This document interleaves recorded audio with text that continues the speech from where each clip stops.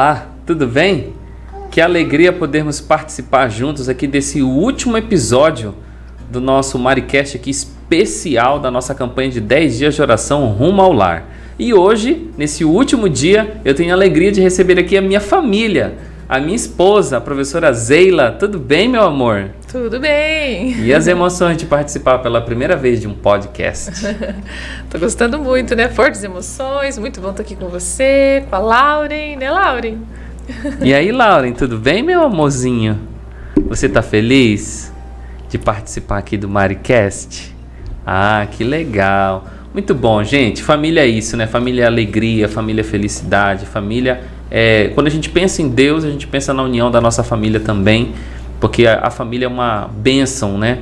Que é provida pelo nosso Deus. E hoje, nesse último dia do nosso, do nosso, do nosso programa aqui especial, dessa campanha, o título é Vencendo para Sempre.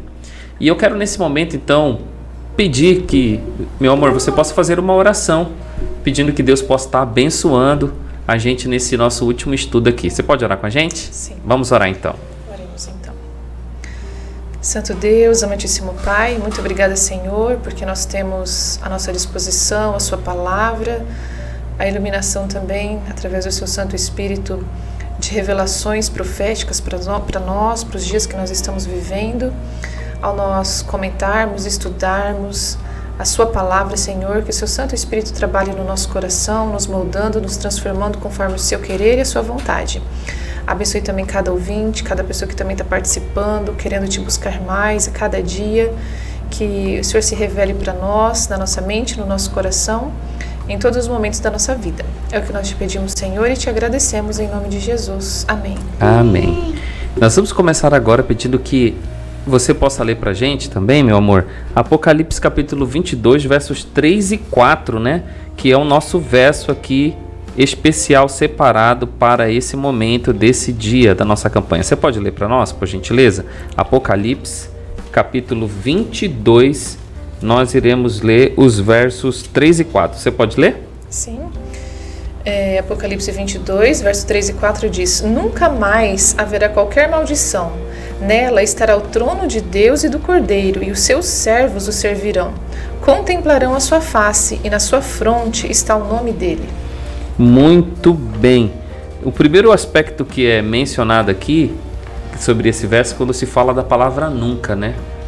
É, dificilmente a gente vai poder usar em situações muito específicas, a gente vai poder utilizar a palavra nunca. E aqui na palavra de Deus, que é a nossa base espiritual, a gente vê a palavra nunca sendo utilizada, né? É, e eu queria começar aqui, meu amor, te perguntando uma coisa, né? Fala-se sobre a questão do pecado como sendo algo misterioso, né? Inexplicável. E uma outro, outro aspecto que eu achei muito interessante do conteúdo do nosso material aqui é que é dito assim: ó, a razão para o seu surgimento, falando do pecado, é, ele diz assim: e desenvolvimento nunca foi nem será explicada nem mesmo naquele grande dia quando o juiz se assentar e os livros forem abertos. Ficará evidente para todos que não existe nem jamais existiu uma causa ou razão para o surgimento do pecado. Isso eu considerei muito forte, né?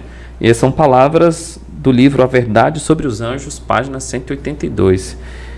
O que, que você poderia destacar aqui desse, desse modo como Deus tem lidado com essa grande trama que envolve a existência do pecado? Pois é, interessante que fala que, igual você falou, né? Ah, é, se existisse uma razão, fala assim, ah, o pecado aconteceu por causa disso. Então, seria explicável o pecado, né? Mas não tem uma explicação para isso, né? Só tem a morte de Cristo para a gente ter essa... Ter a solução, né? formas, né? Ter, exatamente, ter a solução para isso, mas não tem uma razão para isso, né? Então, a gente precisa se apegar com Deus para usufruirmos dessa bênção né, que está à nossa disposição, porque não tem uma razão para o pecado. Mas o bom de tudo isso, como o texto né, que nós lemos, né, mas que vai ter um fim tudo isso, né? O início do verso, né, que foi o texto base de, de hoje, do nosso estudo, que nunca mais vai acontecer essa maldição do pecado, né, essas coisas ruins que aconteceram. Então a gente pode se apegar a isso, né? Para que a nossa vida não tenha mais sofrimento, mais dor, mais tristeza, que é o resultado do pecado, né? Não existe explicação, mas está aos nossos olhos o resultado ruim, as coisas ruins disso, né? E no livro Testemunhos Seletos, volume 3, página 309, diz o seguinte: Estamos a caminho de casa. Aquele que nos amou de tal maneira que morreu por nós, construiu para nós uma cidade. A nova Jerusalém é nosso lugar de repouso. Não haverá tristeza na cidade de Deus, nenhum véu de infortúnio, nenhuma lamentação de esperanças frustradas e afeições sepultadas serão jamais ouvidas. Logo as vestes de opressão serão trocadas pela veste nupcial. Logo testemunharemos a coroação de nosso rei, aqueles cuja vida esteve escondida com Cristo, os que na terra combateram o bom combate da fé, resplandecerão com a glória do Redentor do reino de Deus. Aqui a palavra profética está mencionando aqui sobre esse sentimento, né? Que nós temos que estar nessa expectativa de ver a coroação de Cristo. Nós estamos a caminho do lar. Quando a gente está perto de chegar em casa, a gente tem aquela ansiedade, né? Às vezes a gente já fez algumas viagens, né? E eu me lembro de algumas que a gente faz essa viagem quando a gente está perto de chegar em casa e algumas histórias a gente ouve de pessoas que, quando estavam perto de chegar em casa, sofreram um acidente. Quando a gente fala a palavra lar, sempre dá um sentimento de uma coisa gostosa, um lugar bom de você ir, o seu refúgio, um lugar onde tem a comida que você gosta, né? A cama que você gosta de dormir, que você que escolheu, do seu jeito, todas as coisas do seu jeito. Então, quando a gente ouve essa frase que estamos a caminho do lar, então é um sentimento muito bom, né, que brota no nosso coração.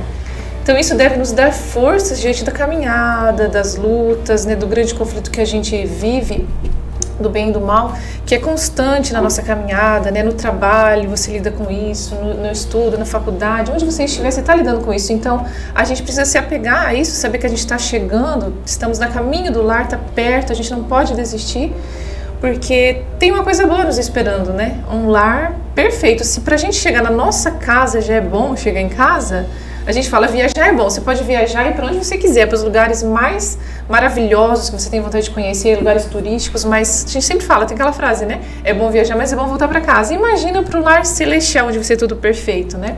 Então uhum. vale a pena a gente sempre lembrar disso nos momentos difíceis, na hora de tomar decisões importantes na vida, que a gente tem que tomar as decisões certas, porque estamos da caminho do lar e isso vale a pena, né? Qualquer sacrifício vai valer a pena para chegar, chegarmos no nosso lar celestial. Maravilha.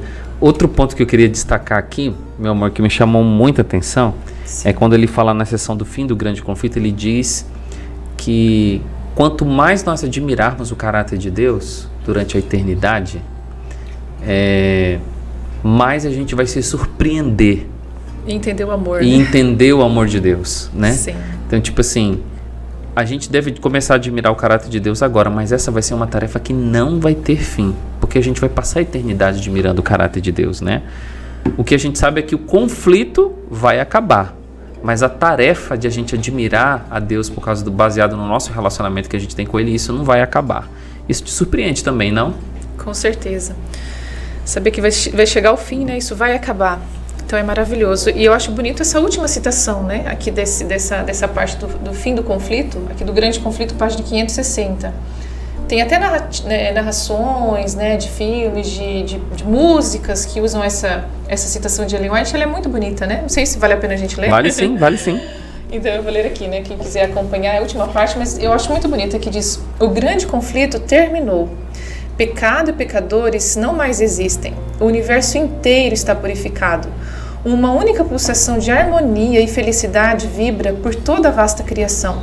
Daquele que tudo criou emanam vida, luz e alegria por todos os domínios do espaço infinito. Desde o minúsculo átomo até o maior dos mundos, todas as coisas, animadas e inanimadas, em sua serena beleza e perfeição e perfeita alegria, declaram que Deus é amor. O grande conflito, página 560, né? Realmente é um fechamento maravilhoso, né? Pensando sobre todo esse conteúdo dos 10 dias de oração, que aplicação pessoal você poderia fazer para sua vida?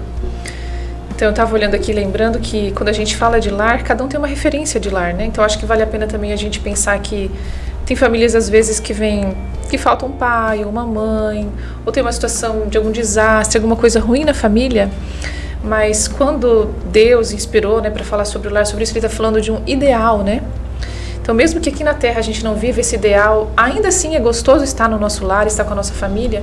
Mas se uma pessoa que não tem esse ideal aqui, pensa que vai ser a melhor coisa da nossa vida, né? A gente se preparar para o céu, para a eternidade.